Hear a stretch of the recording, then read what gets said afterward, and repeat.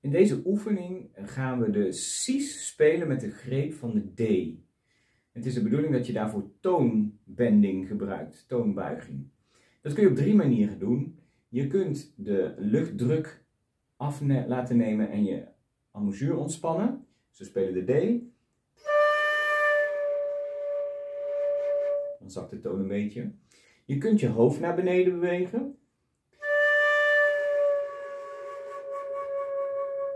Een hele effectieve manier.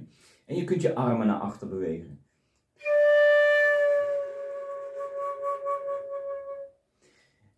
Ik stel voor dat je een combinatie van de drie gebruikt.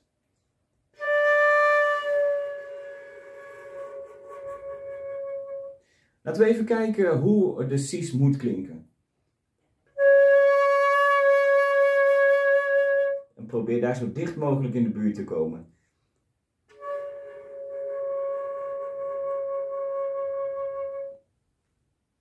Veel plezier.